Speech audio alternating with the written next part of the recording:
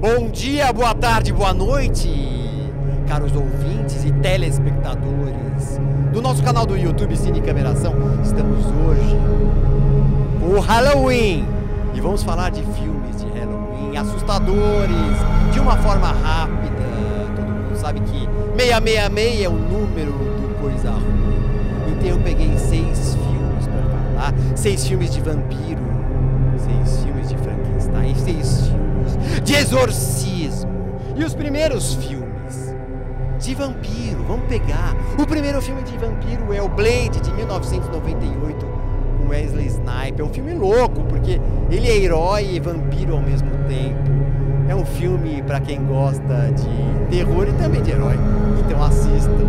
O segundo filme é um filme fantástico chamado Entrevista com o famoso Brad Pita, Pão, Pão, Pão Pita e dois Antônios, Antônio Bandeira e Antônio Cruz Credo, que tem tudo a ver com esse filme. O terceiro filme não é um filme só, na verdade, é uma saga chamada Crepúsculo, onde tem vampiro, lobisomem e todas essas coisas que a gente gosta e finge que se assusta. O quarto filme é um filme fantástico, de 1983, chamado The Hunger, conhecido Brasil como Fome de Viver, com a Susan Sarandon, a maravilhosa Catherine Deneuve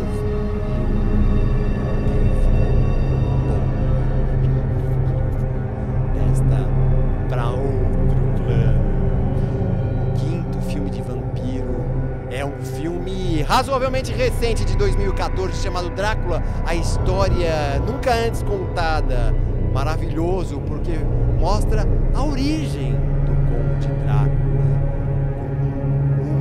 atuação magistral do Evans. E o sexto e último filme dessa categoria de é um filme fantástico chamado Drácula de Bram Stoker, ou seja, que volta à originalidade. É um filme fantástico que volta para as origens, tendo nos papéis principais o fantástico camaleão Gary Oldman, Anthony Hopkins como seu algoz Como o jovem inocente que é seduzido Esses foram os seis filmes de vampiro que vocês podem ver aí no Cine Cameração. E agora vamos falar sobre outra coisa. Vamos falar agora sobre filmes de exorcismo. Exorcismo, quando a pessoa tem o diabo no corpo e vem o padre para tirar. O primeiro filme de exorcismo é O Exorcista de 1973. Filme fantástico que marcou o gênero. Levou 10 indicações à Orca, na verdade, e acabou levando duas estatuetas. O segundo filme é um filme de comédia chamado Beetlejuice, com o maravilhoso Michael Keaton. Vocês não sabiam que é um filme de exorcista, mas é, ele até se intitula, é, ele ajuda, porque é um casal que morre e fica perdido na casa e quer assustar as pessoas. É um filme muito legal. Michael Keaton, Dina Davis, Alec Baldwin, entre outros. Filme de 1980.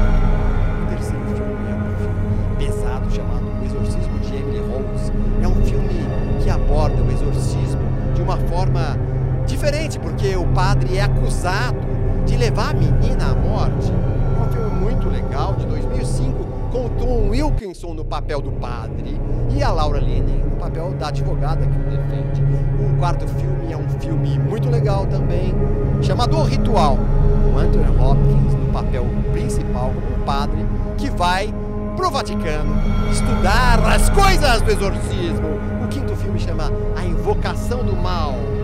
Filme muito legal com Patrick Wilson e Vera Farmiga, onde eles são um casal que eles são exatamente chamados para tirar exorcismo do corpo da pessoa. E o último filme de exorcismo é chamado. É um filme brasileiro, uma coisa rara! Um filme brasileiro chamado Diário de um Exorcista.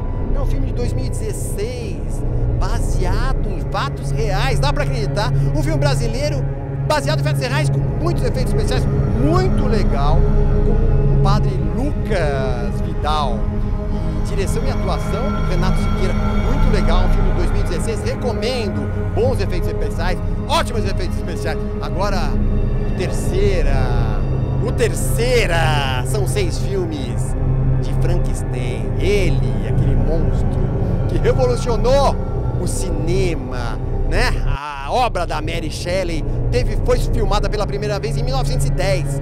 É um filminho de 10 minutos chamado Frankenstein. Assistam, achem em algum lugar. O segundo que nós temos na nossa lista é um filme de 1931 chamado Frankenstein também. Mas esse foi o Brian Calor, foi o que deu origem a essa lenda, a esse mito do Frankenstein de cabeça chata. É, Brian Calor fez maravilhosamente bem terceiro Jovem Frankenstein de 1974, um filme de comédia também do Mel Brooks, protagonizado pelo Gene Wilder, que faz o cientista, e o incrível Marty Feldman e seu ajudante Igor, maravilhoso. O quarto filme não é um filme, é um desenho. Frank Winnie, 2012 de Tim Burton, é um desenho. Vejam, é muito legal.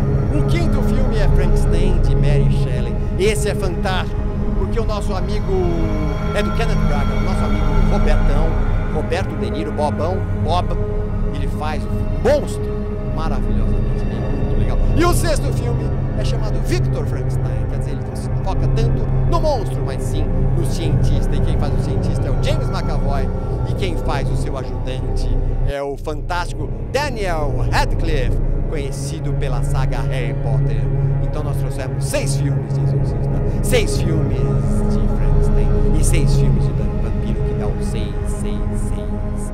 Não deixem de ver essas dicas e outras mais no Cine Câmera Ação, senão você será amaldiçoado para ver filmes porcaria de Halloween, como teve o ano passado. Tchau, pessoal. Bom dia, boa tarde, boa noite, principalmente boa noite. E durmam bem com